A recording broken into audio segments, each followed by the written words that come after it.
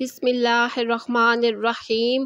ناظرین، آج ماہ سفر کے اس بابرکت دن میں یہ ایک تسبیح، صرف ایک بار پڑھ لے پھر جس چیز کی خواہش کریں گے، خود چل کر آپ کے قدموں میں آئے گی۔ ناظرین، ماہ سفر کے اس بابرکت دن میں سب سے پہلے آپ نے اللہ پاک کا شکر ادا کرنا ہے۔ کہ اللہ پاک نے یہ بہت ہی مبارک دن، بہت ہی مبارک مہینہ ہم سب کی زندگی میں پھر سے نصیب فرمایا ہے۔ ماہ سفر کی بہت زیادہ فضیلت ہے اور آج کے دن آپ جتنے بھی مصروف ہیں، آپ کی زندگی میں جتنے بھی کام ہیں، جتنی بھی آپ کی زندگی کی مصروفیات ہے اس کے باوجود آپ نے یہ آج کا وظیفہ لازمی پڑھنا ہے۔ اس وظیفے میں اتنی طاقت ہے کہ آپ کی زندگی کی جو بھی پریشانیاں ہیں، دکھ ہیں، تکلیفیں ہیں، مسائل ہیں، وہ سارے کے سارے ختم ہو جائیں گے۔ جو وظیفہ آج آپ کو میں بتا رہی ہوں، اس سے پہلے میں نے یہ وظیفہ نہیں بتایا۔ میں اس انتظار میں تھی کہ کب ماہ سفر کا مہینہ آئے اور میں یہ اللہ پاک کے صفاتی نام کا وظیفہ آپ لوگوں کو بتاؤں۔ یہ عمل دولت کے لیے، رزق کے لیے بہت ہی عظیم اور برکت والا ہے، بہت ہی طاقتور وظیفہ ہے۔ جیسے کہ آپ سب جانتے ہیں کہ اللہ پاک کے ہر صفاتی نام میں بہت طاقت ہے۔ ویسے تو اللہ پاک کے بہت ہی زیادہ پیارے صفاتی نام ہیں، لیکن آج کی اس ویڈیو میں جو نام، جو مبارک اس میں اعظم آپ کو بتاؤں گی آپ نے ماہ سفر کے اس مبارک دن میں اسم اعظم کی ایک تصویر ضرور پڑھنی ہے۔ اس کے بعد دیکھنا اللہ پاک آپ کو اتنا نوازے گا کہ آپ کروڑوں بھی مانگو گے تو انشاءاللہ اللہ پاک اپنے فضل و کرم سے آپ کو عطا فرمائے گا۔ ناظرین، جب بھی ہم اللہ سے مانگتے ہیں تو اللہ پاک ضرور عطا فرماتا ہے۔ میں نے اپنی زندگی میں بہت زیادہ معجزے دیکھے ہیں، کئی ناممکن کام ممکن ہوتے دیکھے۔ تو میرے اللہ کی طاقت ہر کوئی جانتا ہے، اللہ ہر چیز پر قادر ہے۔ اللہ پاک کی ذات بہت پاورفل ذات ہے۔ وہ ذات جو کرنا چاہے کر سکتی ہے۔ اس ذات کے لیے کوئی کام ناممکن نہیں ہے۔ میرا اللہ جب کہتا ہے، کن ہو جا تو وہ ہو جاتا ہے۔ اس کے لیے آپ کی زندگی میں جتنے بھی مسائل ہیں، جتنی بھی پریشانیاں ہیں، جتنی بھی تکلیفیں ہیں، بس اپنے اللہ سے دعا مانگا کریں۔ اپنے اللہ کے آگے ہی گر گڑایا کریں۔ اللہ کو اپنے دکھ تکلیف بتایا کریں اور ایک ہی ذات وہ ہے جس کو آپ اپنے دکھ تکلیف، سچے دل کے ساتھ آجزی کے ساتھ رو کر بتاؤ گے تو وہ آپ کو اس وقت دلی سکون محسوس ہوگا۔ اور جب آپ اپنے سارے معاملات اپنے اللہ کو بتا دیتے ہیں، تو آپ کو محسوس ہو جائے گا کہ سمجھ لینا کہ اللہ پاک آپ سے راضی ہے اور آپ کے جو مسائل ہیں وہ جلد حل ہو جائیں گے۔ کیونکہ اللہ پاک کی بارگاہ میں جو ہاتھ اٹھتے ہیں، وہ ہاتھ کبھی خالی نہیں لٹائے جاتے۔ اللہ پاک نوازتا ہی چلا جاتا ہے۔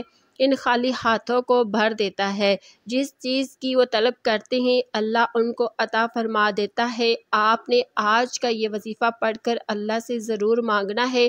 آپ اس عمل کو کسی بھی نماز کے بعد پڑھ سکتے ہیں۔ یہ عمل خاص طور پر ان لوگوں کے لیے ہے جو مجبور ہیں قرض دار ہیں، رزق کی تنگی ہے۔ ایک وقت کا کھاتے ہیں تو دوسرے وقت کا سوچنا پڑتا ہے۔ وہ اس عمل کو لازمی طور پر پڑھ لیں۔ انشاءاللہ ان کی زندگی سے تمام مشکلات، تنگیاں ختم ہو جائیں گی۔ ناظرین، اب عمل کیا ہے؟ ایک، دو، تین، سفر، بدھ، جمعرات، جمعے کے دن آپ کسی بھی وقت، کسی بھی نماز کے بعد جب جہاں جیسے آپ کو وقت مل جائے، باوضو مسلح پر بیٹھ کے آپ نے سب سے پہلے نبی کریم صلی اللہ علیہ وسلم کی ذات مبارک پر درودی پاک پڑھنا ہے۔ درودی پاک آپ کوئی سا بھی پڑھ سکتے ہیں۔ آپ صلی اللہ علیہ وآلہ وسلم پڑھ لیں یا صلی اللہ علیہ محمد پڑھ لیں، یا پھر آپ نماز والا درود ابراہیم پڑھ لیں تو سب سے زیادہ بہتر ہے۔ ایک بار درود پاک پڑھتے ساتھ ہی آپ نے سب سے پہلے اپنے مقصد کی نیت کرنی ہے۔ ہر انسان کی حاجت الگ ہے، ہر انسان کی خواہش الگ ہے۔ ہر انسان کا مقصد بھی الگ ہے۔ آپ نیا گھر چاہتے ہیں، گھر مانگ لیں۔ گاڑی چاہتے ہیں، گاڑی مانگ لیں۔ من پسند شادی کرنا چاہتے ہیں تو آپ رب کریم سے یہ بھی مانگ لیں۔ آج رب کریم سے جو مانگیں گے، آپ کو جو ناممکن لگتا ہے وہ بھی ممکن میں بدل جائے گا۔ آپ کی ہر ناممکن حاجت رب کی صرف ایک کن کی محتاج ہے۔ آپ نے اپنے مقصد کی نیت اپنے الفاظ میں کرنی ہے۔ اپنے تمام مقاصد کی نیت کرنے کے بعد آپ نے ایک بار اعوذ باللہ من الشیطان الرجیم، بسم اللہ الرحمن الرحیم پڑھ کر وظیفے کا آغاز کرنا ہے۔ اور سب سے پہلے نمبر پر جو وظیفہ آپ نے پڑھنا ہے، وہ وظیفہ اکبرین اولیاء کرام صوفیہ کرام کا ازمودہ عمل ہے۔ آپ جو کہتے ہیں کہ ان کی تو ہر حاجت پوری ہوتی تھی، ہماری کیوں نہیں ہوتی؟ تو آپ آج وہ وظیفہ بھی سن لیجیے اور اسی طریقے سے پڑھ لیں۔ آپ نے سب سے پہلے اللہ پاک کو راضی کرنے کے لیے اپنے گناہوں کی سچی توبہ کرنی ہے۔ ہر انسان گناہ گار ہے سیاہ کار ہے، جانے انجانے میں ہر کسی سے کوئی نہ کوئی غلطیاں کتاہیاں ہو جاتی ہیں۔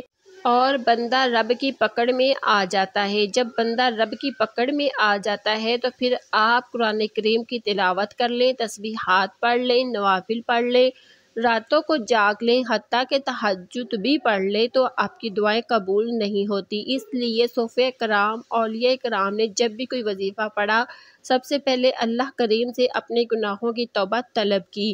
ہاتھ جوڑ کر اپنے گناہوں کی معافی مانگی۔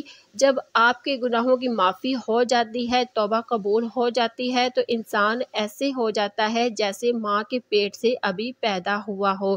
سب سے پہلے آپ نے لا حول ولا قوت الا باللہ پڑھ کر اپنے گناہوں کی توبہ کرنی ہے۔ آج لا حول ولا قوت الا باللہ، پڑھنے سے آپ کی نسلوں کی توبہ قبول ہو جائے گی۔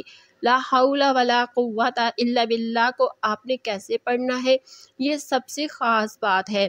لا حول ولا قوت الا باللہ، ایک بار ہو گیا۔ لا حول ولا قوت الا باللہ، دو بار ہو گیا۔ اسی طرح سے آپ ہاتھ کی انگلیوں پر پڑھ لے، تسبیح کے دانوں پر پڑھ لے، آپ نے صرف گیارہ بار پڑھنا ہے۔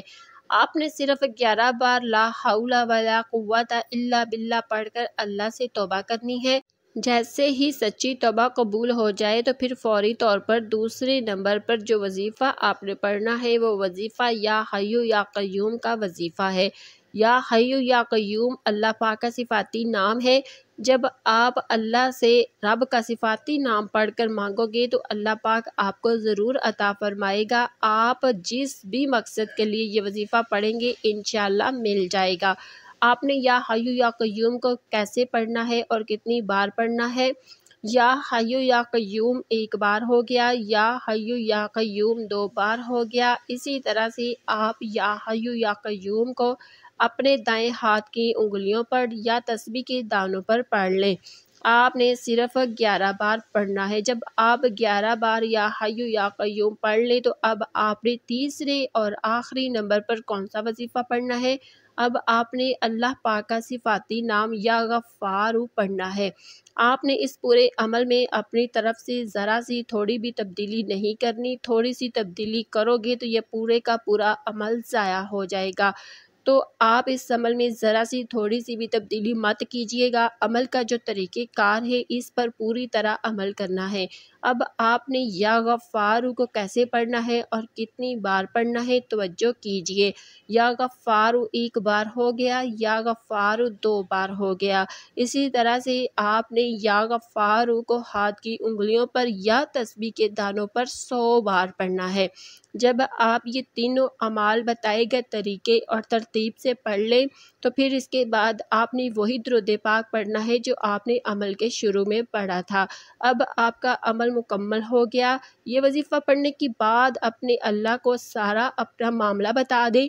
ویسے تو اللہ پاک ہر بات سے واقف ہے، ہر بات سے باخبر ہے۔ وہ جانتا ہے کہ آپ کس مصیبت میں ہیں۔ کس پریشانی میں ہے؟ بس اللہ پاک آپ سے سننا چاہتا ہے کہ میرا بندہ کس طرح مجھ سے سوال کرتا ہے، کس طرح مجھ سے مانگتا ہے، کس طرح اپنی آجزی سے مانگتا ہے۔ انشاءاللہ اللہ پاک وہ سب کچھ آپ کو عطا فرمائے گا، جس چیز کی آپ کو طلب ہے، اللہ پاک بہت غفور رحیم ہے، بہت بڑے خزانوں کا مالک ہے۔ اس کے خزانوں میں کسی بھی چیز کی کمی نہیں، دنیا بنتی ہے، مرتی ہے، پھر نئی نسل آ جاتی ہے، پھر دنیا بنتی ہے، پھر مٹ جاتی ہے۔ لیکن ہمیشہ رہنے والی ذات صرف اللہ کی ذات ہے، وہ شروع سے لے کر ہے اور ہمیشہ رہے گا، اللہ ہی ہے، سب کچھ اسی کا ہے۔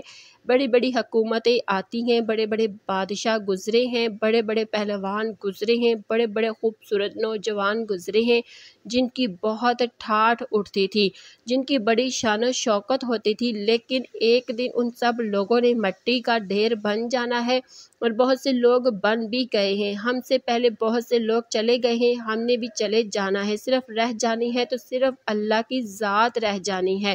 تو ناظرین، آپ اپنے اللہ کو راضی کر لے ایک ایک لمحہ ہمارے لیے بہت بڑی غنیمت ہے۔ جب سانسیں بند ہو جائیں گی، امال کا رجسٹر بند ہو جائے گا، تو اس وقت انسان کی ایک نیکی بھی کسی کام کی نہیں ہوگی۔ اس لیے یہ جو وقت ہے، اس کو غنیمت جانو۔ ایک ایک لمحہ جو ہے، اس کو غنیمت جانو۔ اپنے اللہ سے رو رو کر گر گڑا کر دعا کرو، استغفار کرو۔ ہر نعمت پر اس کا شکر ادا کرو۔ اپنے اللہ کو راضی کر لو۔ اللہ راضی ہو گیا تو ہمارا کام بن جائے گا انشاءاللہ۔ تمام میرے بہن بھائی نماز کا اہتمام لازمی کرے کیونکہ نماز پڑھنا ہر مسلمان مرد عورت پر فرض ہے کیونکہ کوئی بھی وظیفہ نماز کے بغیر نامکمل ہوگا۔